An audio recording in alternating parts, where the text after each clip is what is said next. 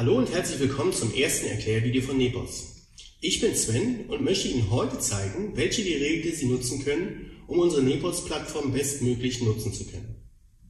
Darüber hinaus möchte ich Ihnen zeigen, welche Voraussetzungen diese Geräte erfüllen müssen, um unsere Plattform störungsfrei anzeigen zu können.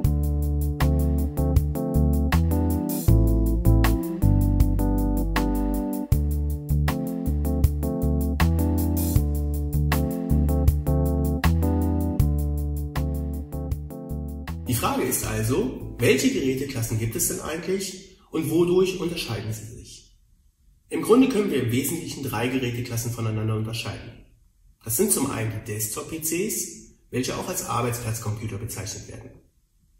Laptops dagegen sind mobile Computer, die über eine eigene Stromversorgung verfügen und daher als mobile Computer bezeichnet werden können.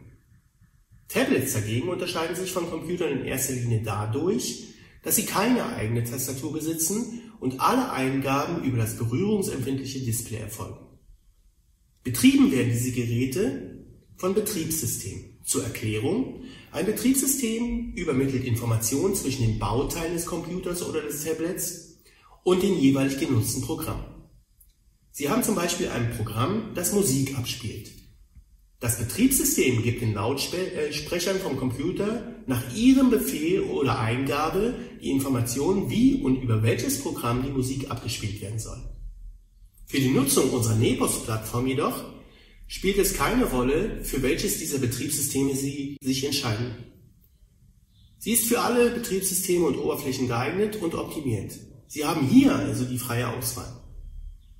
Damit haben wir schon das Wesentliche bezogen auf die Geräteklassen und die verschiedenen Betriebssysteme besprochen. Kommen wir am nächsten Schritt dazu, welche Voraussetzungen diese Geräteklassen mindestens erfüllen müssen, um unsere Nepos-Plattform aufrufen zu können. Die einzige Voraussetzung, welche die genutzten Geräte aufweisen sollten, ist die Displaygröße.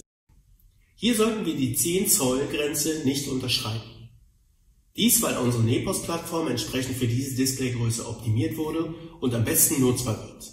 Kleine Bildschirme, wie beispielsweise bei Smartphones, können unsere Oberfläche zwar auch anzeigen, aber die Benutzung ist hier deutlich erschwert, weil sie die kleiner angezeigten Symbole und Eingabetasten schlicht schwer erkennen können. Das war unser erstes Nepos-Erklärvideo zum Thema Gerätetypen, Betriebssysteme und Gerätevoraussetzungen. Wir hoffen, es hat Ihnen gefallen und Sie begleiten uns auch in unseren kommenden Nepos Erklärvideos mit den Themen Browser und ihre Voraussetzungen.